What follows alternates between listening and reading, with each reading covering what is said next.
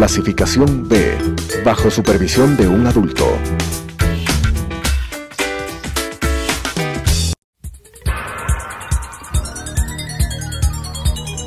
Las opiniones vertidas en este espacio por la producción y dirección del programa son de exclusiva responsabilidad de sus autores y de quienes intervienen en ellos.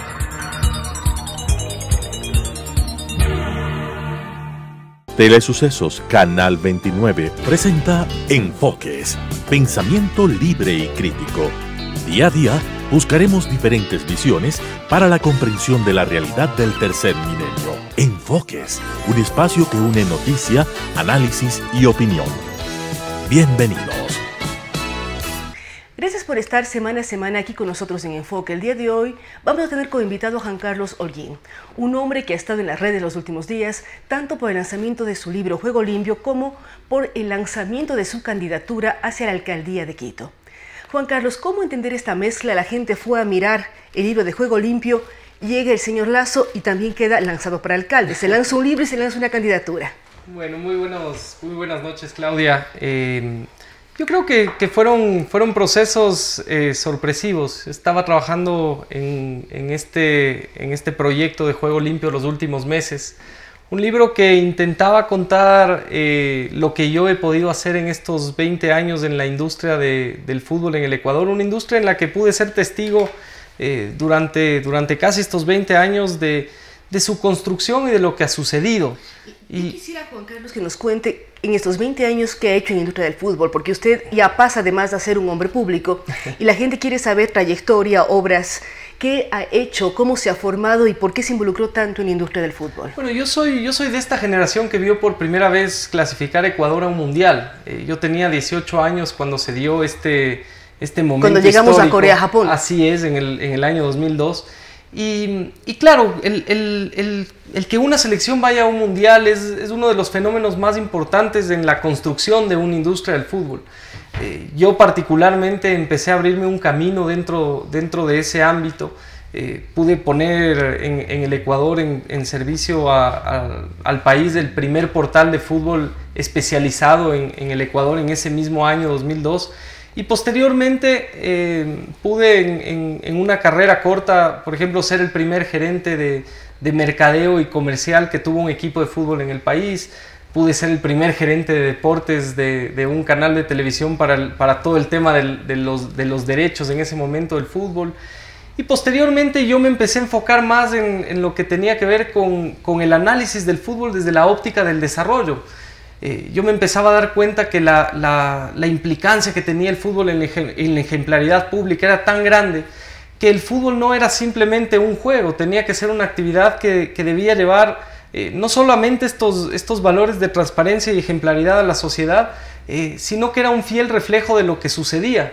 Eh, yo tuve eh, a raíz del fútbol no solamente el inicio de mi carrera como emprendedor, luego, luego yo he hecho empresa privada desde que tengo 19 años en, otros campos, especialmente en el, en el, campo de la tecnología, del turismo. Eh, pero, pero el fútbol siempre me dio este, esta lógica de poder analizar un poco más allá. Y el libro finalmente fue, un, eh, fue una obra que a raíz del FIFA Gate, de este gran escándalo que... Y así ya queríamos el, Su libro se llama Juego Limpio y usted habla de transparencia y de ética en el fútbol. El fútbol es cierto que refleja lo que somos las sociedades. Nos alegramos porque gana la selección o nos envistecemos porque pierde o gana el equipo que uno sigue. Hay una serie de elementos que hace que la sociedad entera esté futbolizada. Acabamos de vivir el Mundial ahora en Rusia y hay una serie de parámetros.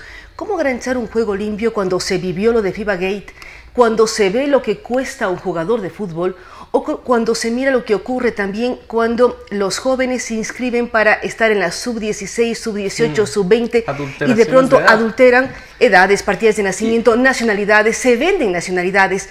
¿Cómo hablar de juego limpio si hasta cierto punto a veces la afición favorece temas que no son tan limpios. Y justamente de eso el árbitro Sims, el pobre árbitro ladrón, no sé si tiene culpa o no, pero lo primero que gritamos en el, en el, estadio, es eso. Y, justamente, Claudia, de eso se trataba esta, esta, este trabajo.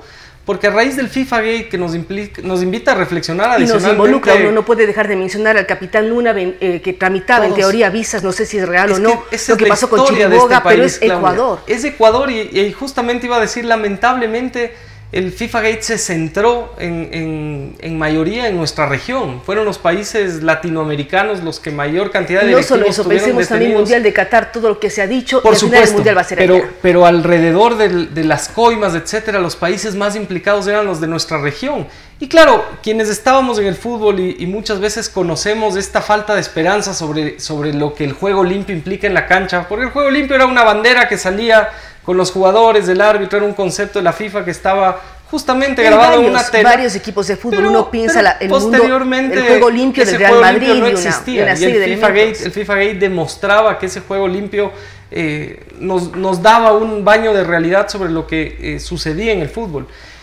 Y, y claro, en la reflexión, que, que, no intenta hacer una reflexión ni sociológica ni cultural de, de, lo que, de lo que pasa en la industria del fútbol, sino justamente en, esa pérdida de esperanza de lo, que de lo que este baño de verdad nos significó, qué casos podía encontrar yo que me den la otra línea de la, de la mirada, lo que, lo que dentro de la industria del fútbol, en la experiencia personal, me pudieron demostrar, eh, por ejemplo, proyectos como el de Liga Deportiva Universitaria, que, que ha tenido dirigentes que lograron un triunfo histórico para este país fruto de una planificación estratégica adecuada. Eh, ellos, ellos creían en la planificación como parte de la, de la, victoria, de lo que querían lograr. Y posteriormente aquello también eh, personajes como Alex Aguinaga, eh, Antonio Valencia, Manchester United como institución, que son las personas y las instituciones con las que yo he estado cerca ¿Qué me podían enseñar ellos para justamente tratar de identificar si se podía jugar limpio en el fútbol?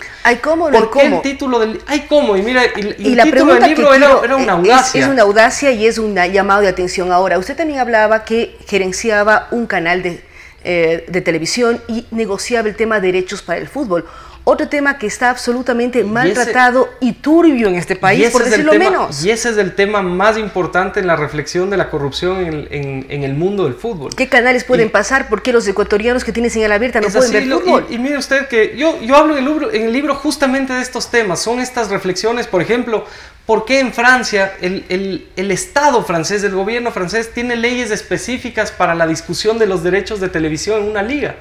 Porque finalmente el fútbol tiene tanto impacto en la sociedad que la, entrega de los derechos de televisión, el proceso, debe tener unos componentes de transparencia, de rendición de cuentas tan importantes porque terminan siendo eh, de un impacto público que muchas veces no lo medimos. Acá no, acá el andarivel del fútbol siempre fue eh, ligado a una óptica de somos privados y, nunca hubo una, una discusión sobre el Estado, por ejemplo, de de qué queremos del fútbol en los próximos 20, 25 años de este país. Y el título de Juego Limpio, decía yo, es una audacia porque no, no intenta tener un tinte moralista sobre, sobre esta situación, sino justamente partir de este concepto de lo que significaba esta frase que estaba en una bandera, a que después del FIFA Gate, hoy por hoy en este último Mundial de, de, Rusia 2018, por primera vez se puede ganar con juego limpio. La selección japonesa de fútbol tuvo una clasificación de etapa por haber jugado limpio, porque ahora el juego limpio, antes se lanzaba una moneda en caso de empate de puntos y goles entre, entre dos equipos, ahora la FIFA determina que el equipo que menos faltas haya cometido es el que, es el que clasifica y, y esa victoria de juego limpio por primera vez se simboliza y se cristaliza en un, en un incentivo deportivo.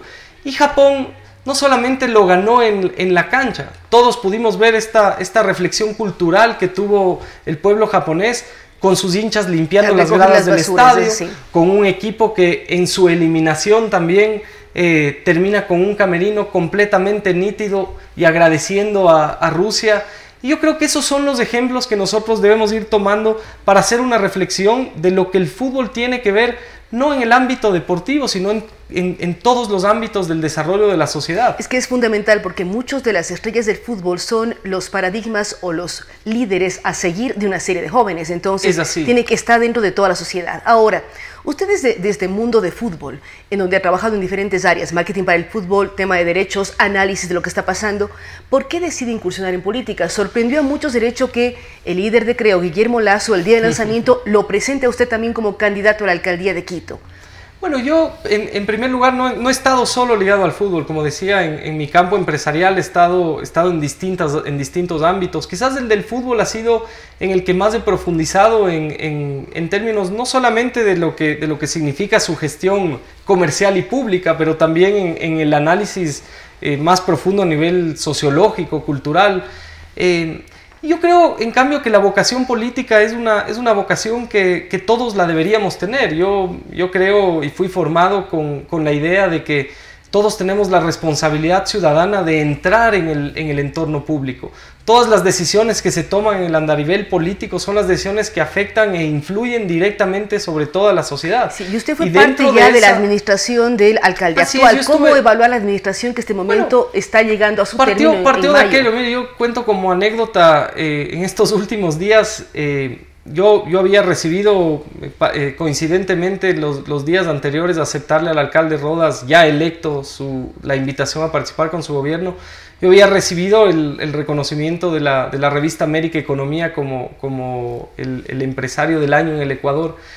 Y yo, cuando, cuando el alcalde me llamó, yo, yo diría, muchas veces todos pensamos que, que, entrar a la política cuando tienes una vida eh, hecha completamente desde fuera de ese andarivel es negativo yo sentí en mi corazón que había que hacerlo, porque estaban en riesgo algunas cosas, no solamente lo que habíamos vivido durante los últimos años en, una lógica política que yo creo ha causado mucho daño a, la sociedad entera, me refiero al gobierno del presidente Correa, sino que con Mauricio Rodas también estaba en juego este valor de la juventud, es decir, él ponía en riesgo lo que una generación eh, eh, podía, podía entregar a la política de este país y que lamentablemente es lo que vivimos ahora.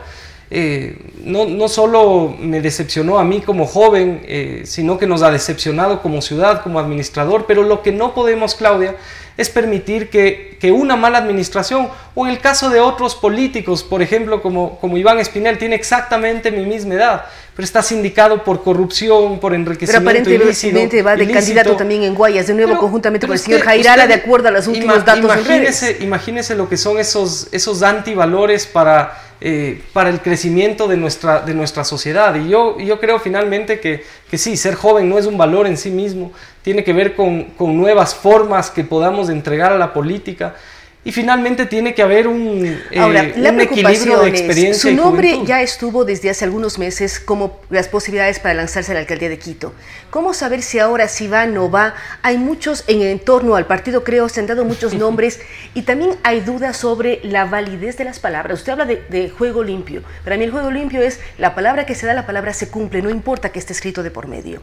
¿Cómo lograr llegar a eso cuando su nombre ha estado, ha dejado de estar, vuelve a aparecer, eh, se nombran otras personas en estos transcursos de las precandidaturas que realmente la política está en ebullición. Y es, así, eh, como yo digo, he estado vinculado a la política muchos años, conozco a, la pero no mayor tanto, cantidad usted es muy joven. Por supuesto, pero por lo menos unos 12 años, Claudia, en que yo no he dejado de, involucrarme en, en lo público. Cuando yo tenía 21 eh, años de edad, eh, yo trabajaba con Rodrigo Paz, quien decidió en ese momento eh, entrar a la disputa por la alcaldía de Quito en el año 2004 frente al mismo Paco Moncayo. y, él, y él me vinculó, él es uno de los referentes más importantes para decir eh, para decirnos siempre que, que, debíamos entrar en lo público, que no podíamos ¿Y cómo siendo tan joven se involucró? Porque ahora uno cuando habla con jóvenes, soy profesor, en fin, a los jóvenes les cuesta ingresar en política. Yo creo que por esos referentes, Claudia, porque cuando uno encuentra eh, los casos ejemplares a los que uno les pueda despertar otras historias de lo que vemos, yo creo que la esperanza surge en decir, es posible hacer las cosas de manera distinta, es posible terminar una administración pública siendo honesto. Por favor, tenemos varios referentes, solo en Quito, personas con las que he podido trabajar muy cerca, como Rodrigo Paz, como Roque Sevilla, son esos casos que nos permiten reflexionar a la, política desde otra óptica. Su hermana, Claudia, no, no, hay, que, eh, no hay que desatender eh, los casos de la política que son visibles para nuestra generación de que otro estilo es posible. Y claro, yo tomé la decisión, porque uno, uno de los temas que, que, hablamos hoy por hoy en la política es, es qué significa entrar a la política. Y yo creo firmemente en que uno tiene que militar en un proyecto político. Yo tomé la elección de creo. ¿Qué posibilidades vi usted? usted milita en Creo ¿Qué posibilidades ve de llegar a la alcaldía y cómo hacer que la gente vuelva a confiar en, a confiar en un joven? Porque la administración anterior confiaron en un eso joven. Es lo difícil y, y, tal vez voy a regresar a la pregunta anterior porque yo creo que efectivamente lo, lo que sucedió la semana pasada, que, que, que fue para mí una, una gran sorpresa en, la, en las palabras de Guillermo, eh, él, yo solo puedo agradecer la postulación. No, había la posibilidad que usted diga no, gracias también, que Guillermo lo lanza y no usted decía no, no, no. Lo que habría que hacer es que él, él no ha lanzado todavía una candidatura, él, él, ha postulado mi nombre dentro de las, de las posibilidades que existen dentro de Creo y alrededor de, de aquello. Eh, yo creo que tiene que hacer ahora el partido el que dentro de sus procedimientos internos tome la mejor decisión. Yo he estado en estos días en una reflexión personal a raíz de, ese anuncio de Guillermo Lazo de, mi posible postulación eh, sobre justamente si, a partir del día de mañana cambio toda mi vida para dedicarme a lo político. Y lo interesante de esta reflexión, más allá de todo lo que sucede, porque claro, en, en redes automáticamente eh, a raíz del anuncio, uno se vuelve un factor de, crítica, de análisis. Y, yo creo finalmente que, que, la política en este momento requiere que nos involucremos. Yo, yo tengo mucha ilusión de que, de que finalmente en los próximos meses la, la ciudadanía pueda conocerme, pueda conocer lo que, lo que he hecho. Y nuevamente eh, entrar en este concepto de si la juventud es un valor en sí mismo, pero tampoco en sí mismo es un factor de detrimento de una candidatura, porque habemos jóvenes preparados, habemos jóvenes con experiencia profesional suficiente y con la capacidad y conocimiento de lo que el municipio necesitaría. Para ello simplemente eh, lo que tenemos que lograr, Claudia, que, es un equipo, un equipo, es un equipo hacia allá queremos ir. humano. ¿Cómo ir conjugando un equipo en donde esté juventud y esté experiencia? Porque tampoco y esa es la, clave, la preocupación Claudia. muchas veces es, es, que los jóvenes eh, no ven con buenos ojos la experiencia de los no tan jóvenes. ¿Cómo ir combinando y esa esta es la serie clave. de elementos? Yo creo que se requiere, que se requiere un, un equipo humano que, eh, que justamente mezcle esa juventud y experiencia, pero sobre todo sea un equipo de personas que, que comparta plenamente las visiones de honorabilidad, de, de ética que se requieren para, para, sacarle a esta ciudad de un, eh, de un hueco moral en el que se encuentra. Quito siempre fue un referente de la, de la, de la mejor de las políticas. Quito siempre fue un referente no solo a nivel nacional, sino regional de lo que era una administración eficiente. Y lamentablemente estamos en un momento en el que parecería que esta nube gris eh, nos envuelve con un pesimismo muy grande, pero yo creo que si nosotros como equipo podemos presentarle a la ciudadanía la propuesta en la que hemos venido trabajando en los últimos Ustedes meses. tienen una propuesta. podemos- ¿Cuándo va a presentar llegar- esta propuesta a la ciudad también para conversar creo que nuevamente hay en un tiempos espacio acá? ahora. Yo, yo, Bueno, las elecciones eh, son en marzo, Exactamente. la- las candidaturas y se escriben hasta el 21 y de la diciembre. reflexión en este momento eh, girará en torno de la legitimación de esta posible postulación dentro del, dentro del movimiento, creo. Eh, yo, yo soy una persona que, que quisiera llegar con el concepto de unidad, en primer lugar, dentro del partido, para posteriormente esta unidad tratar de hacerla con, con- con la mayor cantidad de actores que compartan esta visión eh, y estos principios para la- de lo que queremos para Quito en los próximos meses. ¿Cómo devolver a Quito? Usted habla de una administración eficiente, pero también cómo devolver el orgullo de ser quiteño o de vivir en Quito, que existía hace años. Este momento no existe ese orgullo y ese respeto a la ciudad que nos acoge. ¿Cómo lograr Yo creo que, que uno de los problemas más grandes es aquel, que, que no nos reconocemos en este momento eh, lo que somos. Y esto tiene mucho que ver con lo que pasó en la, en la última década en este país, cuando tuvimos un gobierno nacional que trató desde, desde, desde el gobierno central de imponer ciertos, ciertos proyectos, ciertas problemáticas eh, que debían ser discutidas por los quiteños. Y yo creo que, que eso hizo un daño muy grande desde, desde el, haber discutido estos patrones de nuestro himno. Eh, es decir, hay que volver a pensar en este concepto no solamente de quiteñidad, sino de lo que significa la capitalidad. Lo que fue Quito dentro de la historia, la, la discusión de la, de la fecha de fundación de nuestra ciudad queda para los historiadores, pero si pensamos en el Quito milenario o ya en el Quito hispánico, Quito fue un centro y un eje para la política regional y nosotros nos olvidamos de aquello porque las últimas administraciones finalmente nos han dejado una ciudad en medio de una ¿Y crisis cómo que ha perdido Usted ese acaba de liderazgo. lanzar Juego Limpio en el tema deportivo. ¿Cómo hacer que también el Juego Limpio ingrese en la política? Yo creo que esos son los, los valores fundamentales para llevar una, una eh, sobre todo una educación en valores. Yo, yo creo firmemente que los procesos en, en el desarrollo local que han tenido éxito, no solamente en el mundo, porque a veces uno piensa en, en casos europeos y te dicen, bueno, pero eso es allá, otra cultura. En nuestros, en nuestros países vecinos, alcaldes que han tomado la cultura, la cultura cívica, que, que tuvieron un éxito enorme a la hora de desarrollar una gestión eficiente. Y sin irnos más lejos, Claudia, acá mismo, Rodrigo Paz empezó un, proyecto ciudadano alrededor de esta cultura cívica en educación en valores que tuvo resultados. Entonces yo creo que, eh, si yo podría mezclar estos valores que nos puede enseñar el juego limpio, son aquellos los, los, eh, los yo diría, los detalles que nos podrían hacer cambiar como, como ciudad, como sociedad, para buscar los objetivos que esta ciudad de futuro tiene. Muchísimas gracias a Juan Carlos Holguín. Recordamos que él presentó el libro la semana pasada, El Juego Limpio, y además es precandidato a la alcaldía de Quito. Él nos dice, el partido tiene que todavía resolver algunos temas. Él plantea una candidatura joven, una candidatura que busca un juego limpio, que busca respeto a valores y devolver a Quito ese nombre y prestigio en lo que tenía que ver con administración municipal algo que muchos extrañan de la ciudad y extrañan también el posicionamiento de Quito como líder en varios temas, no solamente en el país, sino en la región y en el mundo entero. Gracias nuevamente a Juan Carlos Holguín. Recordamos que estamos semana a semana con ustedes y que pueden enviarnos sus comentarios y sugerencias a través de las redes sociales. Claudia Arteaga S y Telesucesos. Nos vemos la próxima semana. Las opiniones vertidas en este espacio por la producción y dirección del programa son de exclusiva responsabilidad de sus autores y de quienes intervienen en ellos.